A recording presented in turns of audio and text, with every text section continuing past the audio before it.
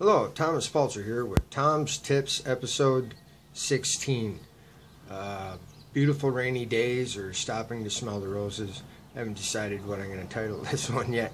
Anyway, and before I get into it, um, since today is Wednesday, I want to, I guess, put in a, a quick reminder that tonight at 9 p.m. Eastern, we're having a free training uh, on how to get more leads and signups for your business uh, by a six or seven figure earner. You can register at thomaspaltzer.com forward slash webinar. Okay, now that, that that's done, um, and hang around because I have a story out of my own personal life that I'm going to share. So this may take a minute. Um, it kind of originated from uh, reading this book again, this Wisdom to Know. Read parts of this. Uh, it's only a page, so it shouldn't take too long and I probably I may not read the whole page.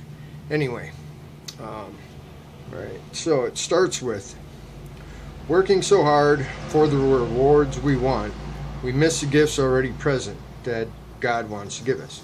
It's anonymous. Um, it says we cannot win many of the good things in life. We can only receive them. Uh, it's like falling asleep. No one can will himself to sleep if we could, there'd be no such thing as a sleepless night. The harder we try, the more awake we become. Uh, we can only allow ourselves to fall asleep. We cannot create a sunny day or a beautiful sight in nature, uh, but we can block them from our awareness. We cannot fall in love by force, but we can prevent it from happening by our willfulness or busy habits. Our raging appetites and anxious state of mind can drive us willy nilly in search of satisfaction while more profound gifts are already in our hands. Uh, many valuable gifts are available only if we stay open to receive them. A wise man grows past our society's mainstream idea that anything worth having requires hard work. The ultimate truth is that God's grace provides what we need. Our work is in learning how to get or how to let go and to be receptive. Today I will open myself to the gifts already in my hands. I guess I did end up reading the whole thing. Anyway, uh, yeah, now, what that kind of tells me, uh, things, what are you grateful for today? Like I told you, I was going to tell you a story. Now, on my way to California on a motorcycle, uh, back, this is back in 87, I was 21 years old. Uh, uh, I rode the first night through, and then it started raining on me hard at 11 o'clock in the morning. So I pulled over. This is in Council Bluff, Iowa. Shout out to Council Bluff, Iowa. Had a ball there. Anyway, um, and I'm about to tell you about it. um, all right, so I pulled in 11 o'clock at this truck stop, and I have lunch, and I was still drinking that time, so I had like one or two beers waiting around, waiting around. I go outside, you know, it's still raining. Two o'clock, still raining, pouring. Uh, gray sky everywhere I could see. So I look, I look around on the intersection corner, which is right off the freeway, and on one corner there is a hotel, Holiday Inn or something, and on the next corner, a titty bar.